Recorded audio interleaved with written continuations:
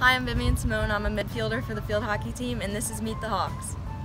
What is the worst Halloween costume you wore as a kid? My whole family, when I was little, dressed up as Charlotte's Web, and I got to be Charlotte. Who is your team's biggest rival? Definitely E-Town. There's a lot of bad blood there. Do you have any advice for first years on campus? Don't be afraid to talk, meet new friends, you know, put yourself out there a little bit. If you were lost in the woods, who on your team would you want with you and why? Definitely Heather Casey.